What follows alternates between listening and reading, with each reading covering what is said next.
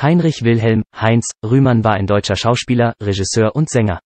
Seine Rolle in dem Film Die drei von der Tankstelle bedeutete 1930 seinen Durchbruch als Filmschauspieler. Seither gehörte er zu den prominentesten und beliebtesten Schauspielern des deutschen Films und wurde einer der bestbezahlten Filmstars der NS-Zeit. Rühmann wurde vorwiegend als komödiantischer Durchschnittstyp eingesetzt wie in seiner bekanntesten Rolle als Hans Pfeiffer in der Komödie Die Feuerzangenbowle. In der Nachkriegszeit konnte er als Charakterdarsteller an frühere Erfolge anknüpfen, so etwa im Hauptmann von Köpenick und in Es geschah am helllichten Tag.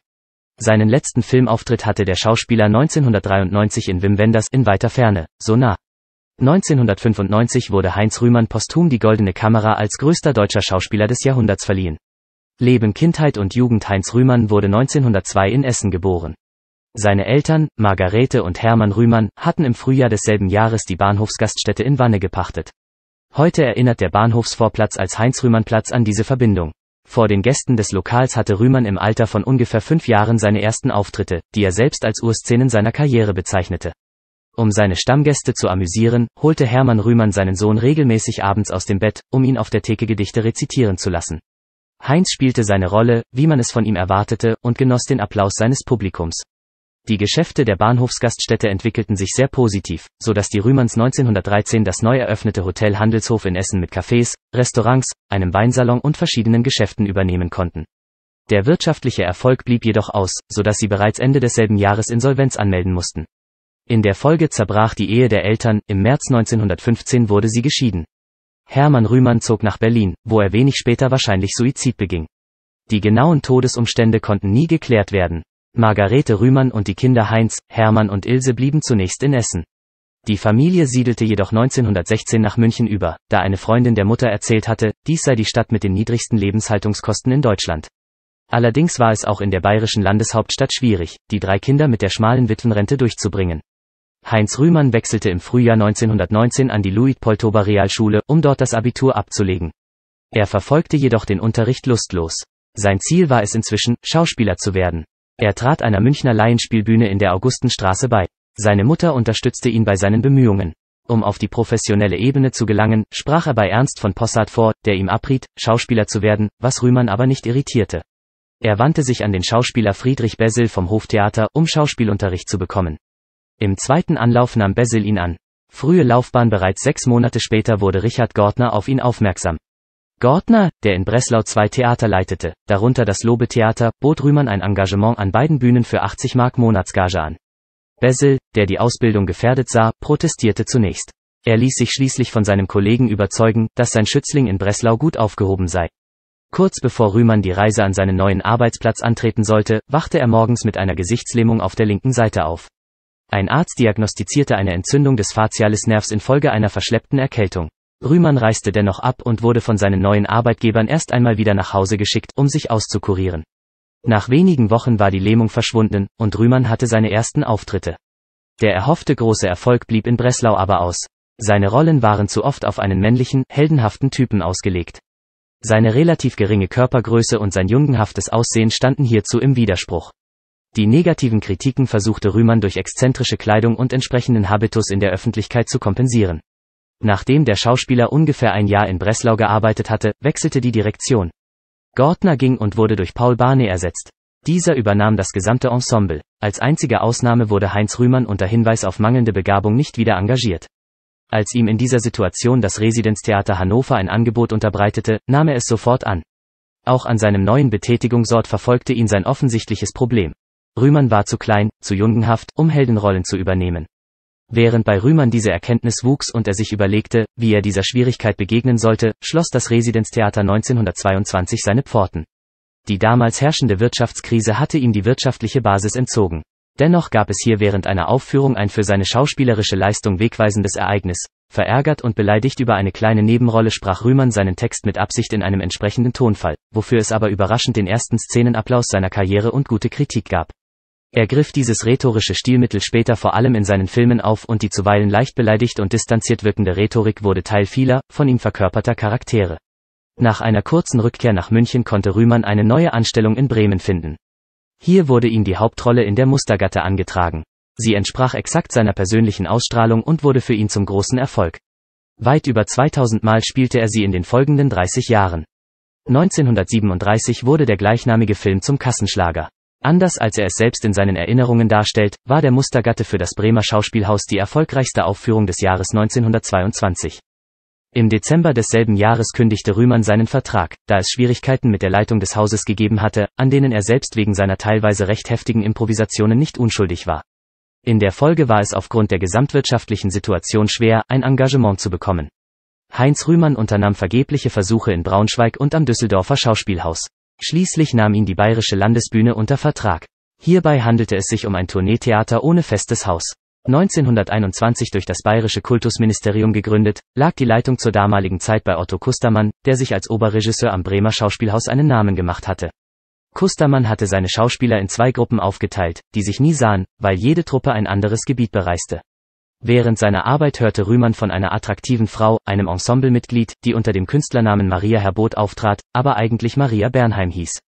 Die beiden lernten sich kennen, und Bernheim, über vier Jahre älter und gut zehn Zentimeter größer als Rühmann, gab ihren eigentlichen Beruf auf und wurde, wie er es selbst nannte, seine Privatregisseurin. Rühmann blieb nur wenige Monate an der Bayerischen Landesbühne, dann ereilte ihn ein Ruf an die Münchner Kammerspiele. Die damalige Direktorin der Kammerspiele, Hermine Körner, sah in ihm die wesentliche Bereicherung ihres Assabels ins komische Fach, und so stimmte er zu. Zu dieser Zeit bekam Heinz Rühmann auch sein erstes Angebot, in einem Stummfilm mitzuwirken. Grundsätzlich nicht sehr begeistert von diesem Medium, überzeugte ihn letztlich die Bezahlung. Für zehn Drehtage wurden 500 Mark Gage in Aussicht gestellt.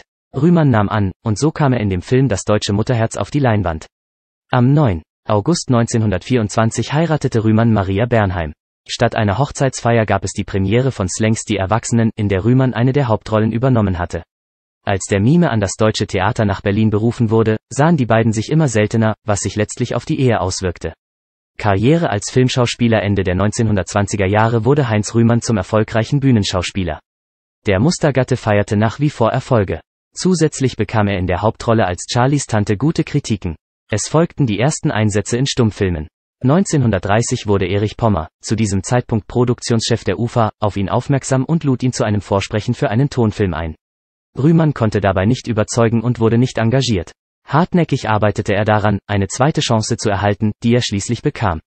Diesmal verkörperte er einen ungehorsamen Schüler im Streit mit seinem Lehrer. Damit überzeugte er Pommer, der ihm daraufhin mit der Rolle des Hans, neben Willi Fritsch und Oskar Karlweis eine der Hauptrollen in dem Film Die drei von der Tankstelle gab. Mit einer Einspielsumme von 4,3 Millionen Reichsmark wurde der Film zum erfolgreichsten Film der Saison. Rühmann war von da an in ganz Deutschland bekannt. Pommer war von seinem neuen jungen Schauspieler begeistert. Noch bevor die drei von der Tankstelle seine Kinopremiere erlebte, bekam Rühmann eine weitere Rolle in Einbrecher. Bei seinem nächsten Film für die UFA, Der Mann, der seinen Mörder sucht, spielte er zum ersten Mal die Hauptrolle und seine Gage verdoppelte sich. Auf diese Weise wirtschaftlich abgesichert, erfüllte sich Rühmann einen Jugendtraum. Er machte den Pilotenschein und kaufte sich ein eigenes Flugzeug.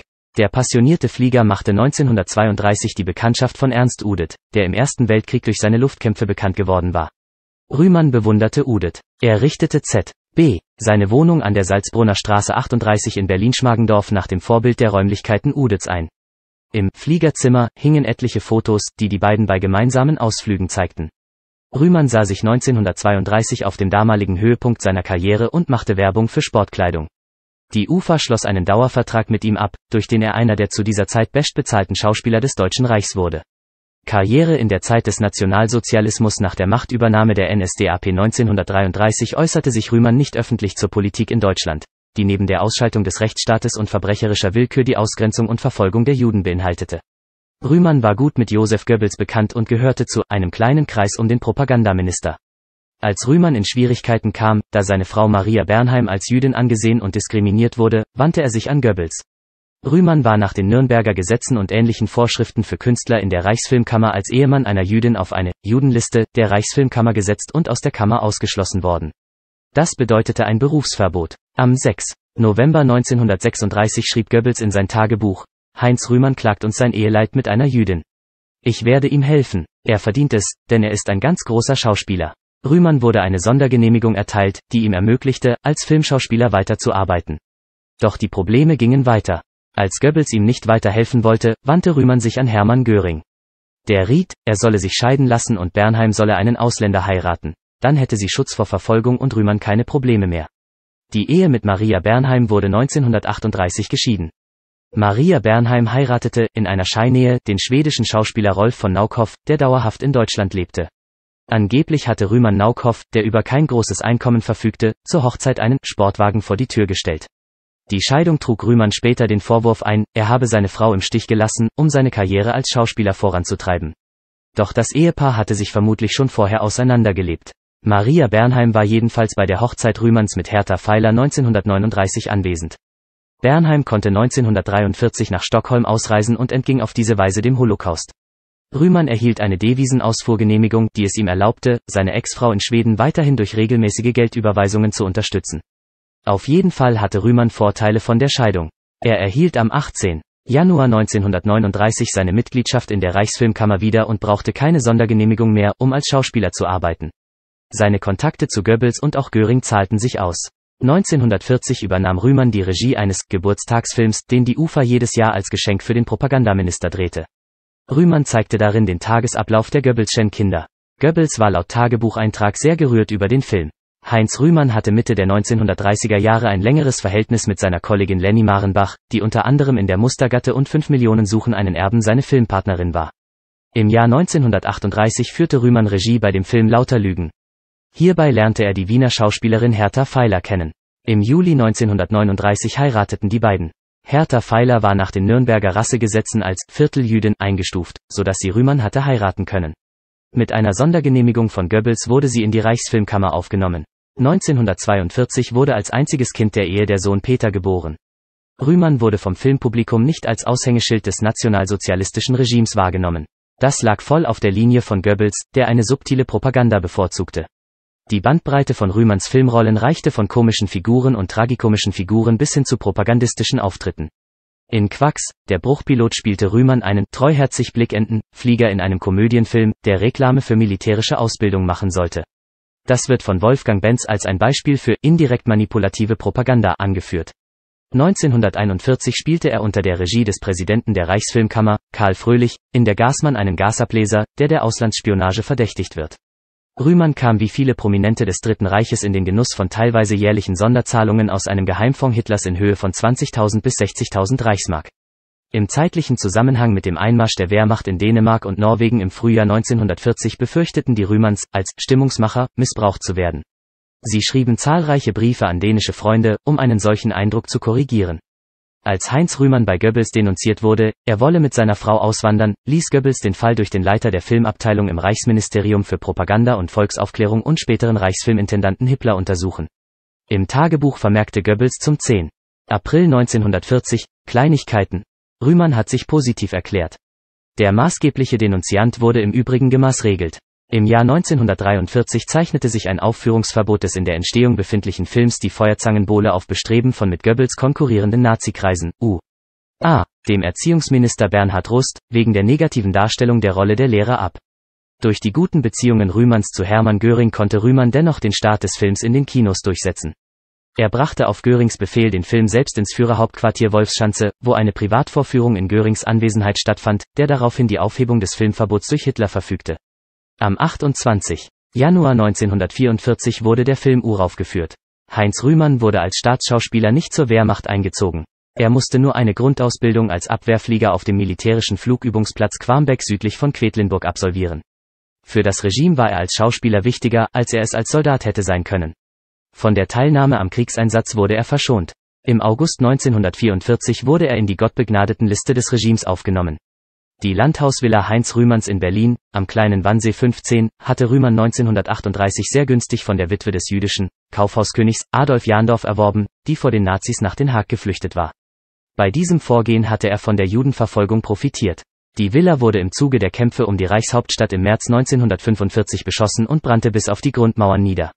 Das Ehepaar Rühmann-Pfeiler flüchtete, nachdem ihr Grundstück zur Hauptkampflinie erklärt wurde. Neun Umzüge in Notunterkünfte innerhalb Berlins folgten bis Kriegsende am 8. Mai 1945. Karriere im Nachkriegsdeutschland im Zusammenhang mit dem Kriegsende äußerte sich Rühmann in seiner Autobiografie. Im Mai 1945 hätten russische Offiziere mit ihm Kontakt aufgenommen, um über den Aufbau des deutschen Films zu sprechen. 2001 wurde bekannt, dass er ähnlich wie der Mediziner Ferdinand Sauerbruch oder der Architekt Hans Scharun auch mit der Gruppe Ulbricht in einer Berat in Verbindung war. Die allererste Ausgabe einer deutschen Zeitung in der sowjetischen Besatzungszone berichtet bereits über Rühmann, der jedem am Wiederaufbau Beteiligten Freude und Entspannung wünschte. Am 28. März 1946 wurde im Rahmen der sogenannten Entnazifizierung festgestellt, es bestünden keine Bedenken gegen eine weitere künstlerische Betätigung des Herrn Rühmann. Bis dahin hatte für ihn ein Auftrittsverbot bestanden. Rühmann beantragte im Juli desselben Jahres eine Genehmigung für das Aufführen von Theaterstücken und reiste mit einer kleinen Theatergruppe umher. Rühmann gründete 1947 im Westsektor die Filmgesellschaft Comedia, die nach mehreren Misserfolgen 1953 in Konkurs ging. Erst mit Hilfe des Regisseurs Helmut Keutner gelang ihm ein Comeback als Schauspieler, zunächst in dem Film Keine Angst vor großen Tieren, dann in der Tragikomödie Der Hauptmann von Köpenick, in der er den Schuster Wilhelm Vogt spielte und dafür 1957 mit dem Preis der deutschen Filmkritik ausgezeichnet wurde. In den folgenden Jahren spielte Heinz Rühmann in zahlreichen Unterhaltungsfilmen von unterschiedlicher Qualität und konnte an seine früheren Erfolge anknüpfen. Rühmann drehte 1960 die Paterbraune Deppchen Das Schwarze Schaf und 1962 die Fortsetzung Er kann's nicht lassen. Der Regisseur Helmut Eschli erinnerte sich zu der Verpflichtung des Filmkomponisten Martin Böttcher, der beide Filme vertonte und auch die Rühmann-Filme Max, Der Taschendieb und Die Ente klingelt um ein halb acht. Merkte ich, dass hinten eine Tür aufging. Heinz Rühmann schlich herein und setzte sich in die letzte Reihe. Ohne ein Wort zu sagen. Nach einer Viertelstunde verschwand er. Er wollte sich vergewissern, dass er die richtige Entscheidung getroffen hat. Helmut Eschli, 2007-1966 erhielt Rühmann das große Bundesverdienstkreuz. Auch nach seiner Anfangszeit trat Rühmann weiterhin am Theater auf, so Z. B. An den Münchner Kammerspielen, wo er unter der Regie von Fritz Kortner in Warten auf Godot zu sehen war. Von 1960 bis 1962 war Rühmann Mitglied des Wiener Burgtheaters. Zunächst spielte er dort in Mein Freund Harvey am Akademietheater, danach verkörperte er den Willi Lohmann in Der Tod des Handlungsreisenden. Am 31. Dezember 1976 gastierte Rühmann als Frosch in die Fledermaus an der Wiener Staatsoper. Im Jahr 1970 starb seine Frau Hertha Feiler in München an Krebs. 1974 heiratete Rühmann auf Sylt seine dritte Frau, die Autorin und geschiedene Verlegersgattin Hertha Drömer, die er bereits Mitte der 1960er Jahre im Hause von Siemens kennenlernte und 1971 erstmals wieder kontaktierte und zu einem von ihm gesteuerten Alpenrundflug einlud. Von 1977 bis 1982 wirkte er in der Matinee rund um die Oper in der Bayerischen Staatsoper mit, zu der ihn der damalige Intendant August Everding eingeladen hatte. Als Vertreter des Publikums erkundete Rühmann in dieser oft angesetzten und beliebten Veranstaltung alle Bereiche der Welt der Oper. Die Konzeption dieser Matinee hat mit ihm Klaus Schulz entwickelt, der ihn in den Jahren 1985 bis 1993 wiederholt zu Lesungen in den von ihm geleiteten Theatern von Aachen und Mannheim engagierte. In seinen letzten Lebensjahren entdeckte Rühmann die Rezitation als eine neue Leidenschaft und tauschte mehr und mehr Bühne und Leinwand gegen Rezitation Spult und Plattenstudio. Besondere Beliebtheit erlangten in diesem Zusammenhang seine Weihnachtslesungen, die im zweiten deutschen Fernsehen gezeigt wurden, U. A. 1984 in der St. Michaeliskirche in Hamburg. Bei Stars in der Manege 1980 trat Rühmann mit dem Clown Oleg Popov auf. Als am 20. März 1981 seine Kollegin Edith Schulze-Westrum verstarb, mit der er in den 1930er Jahren unter Otto Falkenberg zusammengearbeitet hatte, hielt er bei der Beisetzung auf dem Waldfriedhof Sollen in München die Grabrede. 1982 veröffentlichte er unter dem Titel Das war's seine Autobiografie. Anlässlich seines 90. Geburtstags wurde 1992 eine Sondersendung im deutschen Fernsehen ausgestrahlt. Loriot und Evelyn Hamann trugen einen neuen Sketch vor und verbeugten sich anschließend vor dem Geburtstagskind. Im Jahr 1993 trat er in der RTL-Sendung Gottschalk Late Night auf. Seinen letzten Auftritt hatte Heinz Rühmann am 15. Januar 1994 in Linz bei der Fernsehshow Wetten, das. Das anwesende Publikum feierte den bereits zur lebenden Legende gewordenen Schauspieler mit minutenlanger stehender Ovation und rührte ihn zu Tränen. Am 3. Oktober 1994 starb Rühmann in seinem Haus in Aufkirchen am Starnberger See im Alter von 92 Jahren und wurde einen Tag später auf seinen Wunsch eingeäschert. Die Urne wurde am 30. Oktober 1994 in Aufkirchen beigesetzt. Die Gemeinde Berg, zu der Aufkirchen gehört, benannte eine Straße, in deren Nähe er zuletzt lebte, in Heinz-Rühmann-Weg um. Auch die Gemeinde Grünwald hat in dem Ortsteil Geiselgersteig unweit des Bavaria-Geländes eine Heinz-Rühmann-Straße. Schallplatten Rühmann hat auch zahlreiche Schallplatten aufgenommen. Seine berühmteste war das Seemannslied Das kann doch einen Seemann nicht erschüttern, komponiert von Michael Jari und aufgenommen am 30. Juni 1939. Auch der am 1. April 1938 erschienene Kinofilm 5 Millionen suchen einen Erben brachte mit Ich brecht die Herzen der stolzesten Frauen einen Evergreen hervor.